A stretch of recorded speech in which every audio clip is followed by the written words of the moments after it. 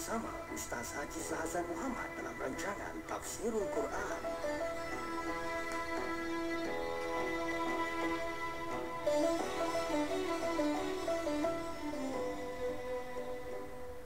السلام عليكم ورحمة الله وبركاته.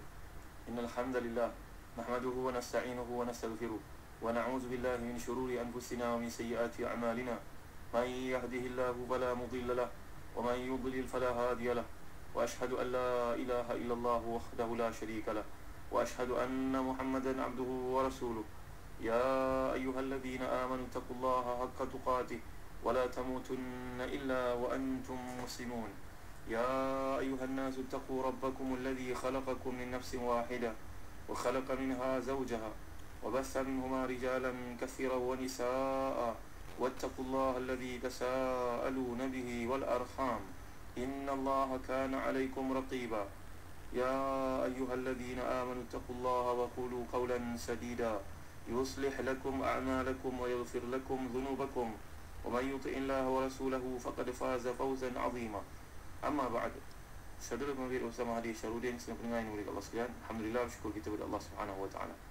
Dalam kuliah yang terdahulu kita telah bincangkan ayat yang ke-115 hingga 116 dari surat Taubah. Iaitulah berkaitan dengan Allah Subhanahu Wa Taala Memberikan hidayah kepada manusia. Apabila mereka gagal untuk mentaati hidayah tersebut Maka barulah datang ketahuan hukuman kepada mereka. Hidayah ni adalah urusan Allah SWT Dan di hujung Allah gambarkan semuanya Allah memiliki langit dan bumi.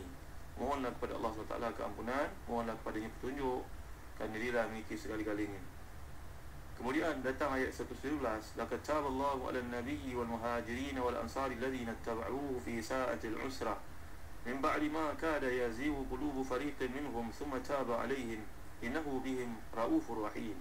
Semuanya Allah telah menerima taubat Nabi Orang-orang muhajirin dan orang-orang ansar Yang mengikuti Nabi SAW dalam kesulitan. Setelah hati segolongan mereka yang hampir berpaling. Kemudian Allah beri taubat kepada mereka Menerima taubat mereka. Semuanya Allah maha pengasih lagi maaf penyayang Kita pernah bincangkan dahulu Taubat yang Allah Subhanahu Wa Taala terhadap Nabi ini Bukanlah taubat terhadap dosa yang baginda Sallallahu Alaihi Wasallam lakukan. Kerana Nabi ini maksum, tidak ada dosa. Taubat Allah kepada Nabi berarti Allah meninggikan darjat Memberikan kepadanya kurnia. Manakala taubat manusia Iaitulah terhadap kesilapan dosa yang pernah dilakukan Kerana manusia yang lain tidak masuk Maka hendaklah kita fahami maksud taubat ni Dalam konteks yang berbeza Untuk Nabi berbeza daripada untuk manusia yang lain Para sahabat digambarkan oleh ayat Allah SWT Alladzina taba'uhu fi sa'atil usra Dan tafsir Ad-Durul Mansur dikumpulkan riwayat-riwayat yang banyak menunjukkan bahawa para sahabat ni bergilir-gilir menghisap sebutir kurma, sebiji kurma.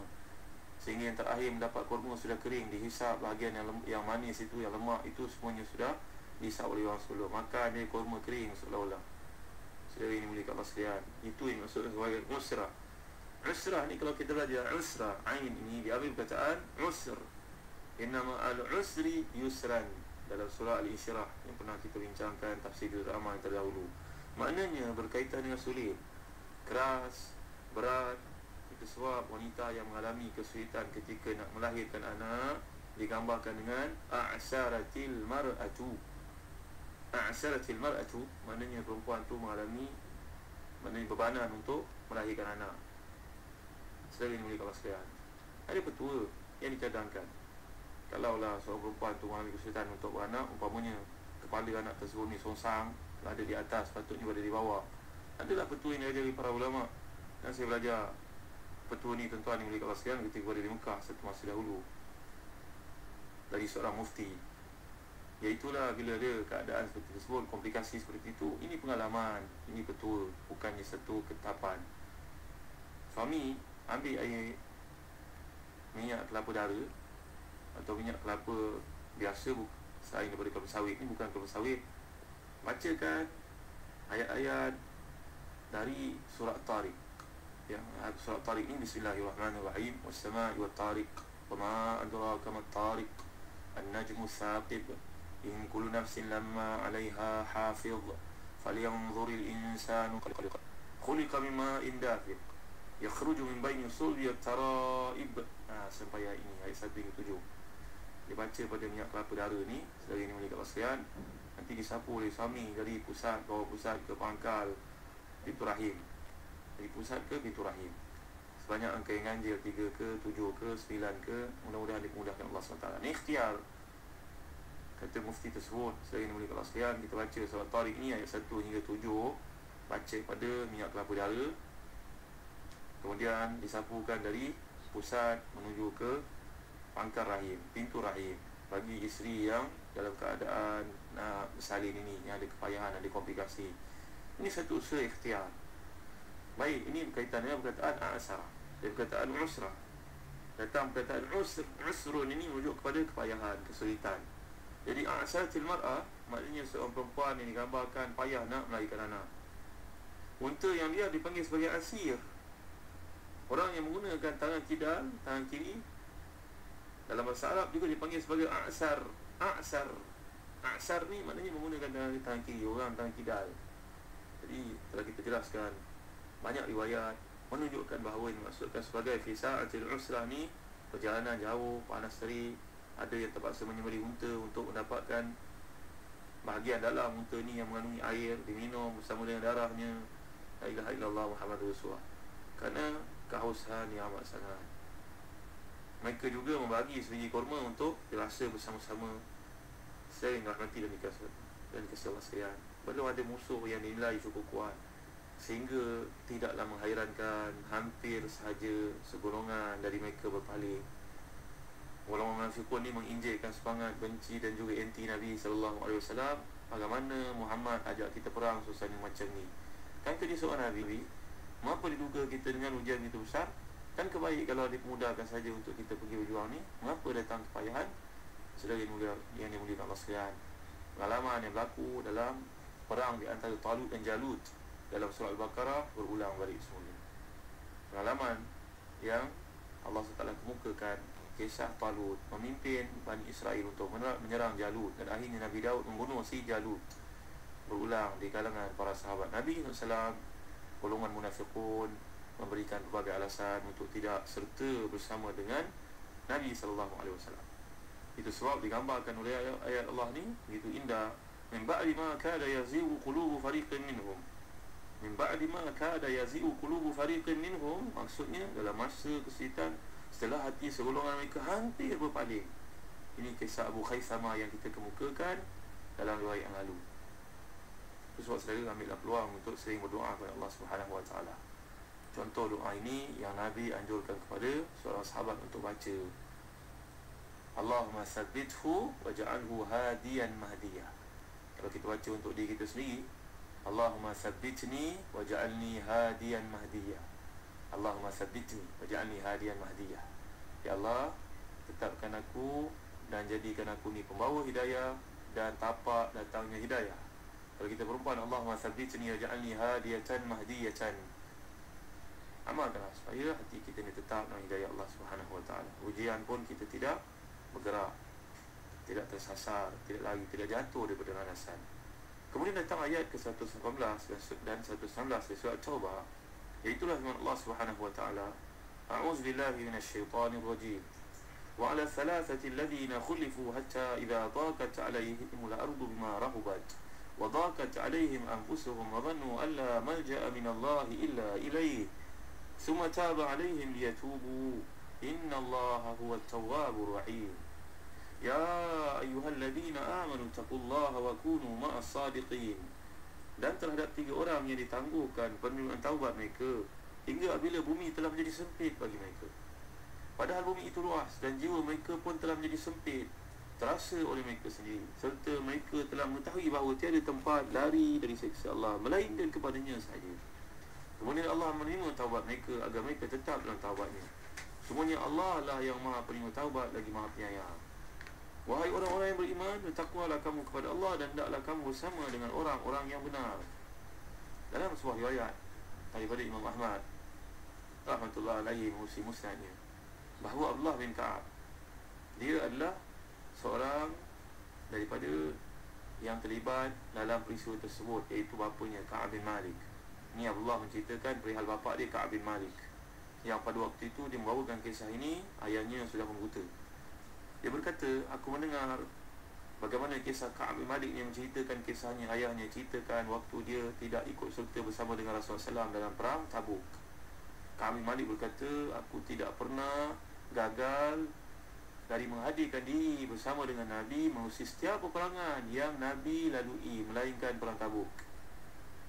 Aku tertinggal walaupun aku pernah tertinggal dalam perang Badar namun pada waktu itu tidak ada seorang pun yang mencela siapa yang tertinggal daripadanya. Kerana perang badar ni ada satu pertempuran ketika Nabi SAW nak merampas awal sebabnya kerana Nabi nak mengembalikan pemilikan orang-orang Madinah yang telah dirampas di Mekah dahulu dalam rombongan perdagangan yang pulang dari Syam pimpinan Abu Sufyan. Saya ni boleh katakan kita ni kena kaji strategi perjuangan Nabi SAW dari satu aspek kepada yang lain. Setiap yang Nabi lakukan tu ada ibrahnya ada pengajarannya seperti dikemukakan oleh Syekh Al-Marhum Dr. Mustafa Sibai dalam kitab beliau Sirah An-Nabawiyah Al-Ibar Wa'idhat pengajaran dan juga pedoman yang boleh kita ambil daripada siap peristiwa yang berlaku dalam perjuangan hidup Nabi SAW semua itu merupakan pengajaran. Alhamdulillah. Jadi balik kepada kisah yang sedang kita gambarkan di sini. Kak Amin Malik berkata aku tidak pernah terkecuali tidak pernah meninggalkan perjuangan bersama dengan Nabi melainkan dua kali iaitu perang Tabuk dengan perang Badar. Perang Badar aku tidak dicemur, tidak dicela kerana itu merupakan pilihan. Nabi ingin mempertahankan prinsip asas iaitu untuk merampas semula harta yang dibawa oleh Abu Sufyan pulang dari perdagangan kerana mereka pernah merampas harta orang Islam di Mekah. Tapi perang Tabuk ini dia merupakan satu perintah Allah yang tidak boleh dikecualikan sesiapa pun. Tiba-tiba aku ni mencari sebab untuk dicela dan akhirnya pula kerana Nabi sallallahu alaihi wasallam. Saya ni rahmati dan dikasihi Allah sekalian.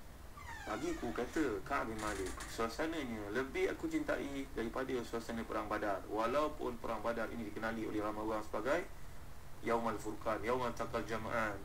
Titik tolak kepada kemenangan Islam yang berterusan selepas itu. Tapi bagiku peristiwa dalam Perang Tabuk ini merekodkan satu kenangan manis yang sukar dilupakan. Mengapa saudara? Kerana kisah yang Allah turunkan ayat khusus mengampunkan untuknya dan sahabat-sahabat yang berdua yang lain itu. Saudara, kisahnya dikemukakan oleh Ka'ab bin Malik. Aku belum pernah merasa lebih kuat dan lebih ringan dari waktu aku ditinggalkan dalam perangan itu. Demi Allah, Sebelumnya aku sama sekali tidak pernah mengumpulkan dua tunggangan Tapi pada waktu aku tertinggal itu aku mampu menyiapkannya untuk perangan tersebut Dan setiap kali ingin melangsung satu perangan Biasanya Rasulullah menyembunyikan hal tapi dalam bertarung Nabi berperang dengan suasana panas Menempuh kejauh Dan akan menghadapi tentera yang begitu besar bilangannya. Maka Nabi mengumumkan kepada kaum sini Untuk siap sedia lebih awal. Dan Nabi memberitahu mereka arah yang akan dituju. Kaum sini yang ikut bersama dengan Rasulullah banyak sekali. Ramai sekali bilangannya. Tidak cukup apabila mereka dicatat dalam buku Untuk rekodkan nama-nama mereka. Sekali mereka sehat Kak melanjutkan, kebanyakan orang yang tidak ingin ikut berjihad menyangkakan dalam dirinya bahawa perkara itu tidak akan diketahui oleh Nabi sallallahu alaihi wasallam. Kerana tentera dah ramai, tapi sebaliknya Allah Maha mengetahui Allah menedahkan kepada Nabi golongan yang tidak pergi perang Tabuk ini.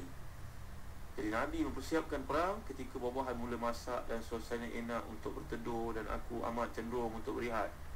Rasulullah dan kaum muslimin yang ikut bersama dengan Nabi mula mempersiapkan diri Aku pun mula mengadakan persiapan bersama dengan mereka. Lalu aku kembali tanpa melakukan satu apa pun dari persiapan yang telah aku siapkan itu. Aku mengatakan dalam diriku aku mampu melakukannya. Tapi tak apalah aku rehat dekat rumah lah. Malailah sahabat-sahabat ikut Nabi dah cukup. Saya ni boleh kat Australia. Nanti kita sambung lagi dalam kuliah datang. Peristiwa ini disebut oleh para ulama tafsir terperinci Kerana ia mengandungi pengajaran yang hebat untuk kita semua memahami bahawa perjuangan bersama Nabi SAW ini menagih pengorbanan Perjuangan bersama Nabi ini bukan mudah untuk dituturkan tanpa disertai dengan bukti. InsyaAllah kita akan lihat dan kuliah akan datang. Allahu'alam wa sallallahu ala sayyidina Muhammad wa ala alihi wa sahbihi wa baraka wa sallam. Walhamdulillahi rabbil alamin. Wa barakallahu fikum. Wassalamualaikum warahmatullahi wabarakatuh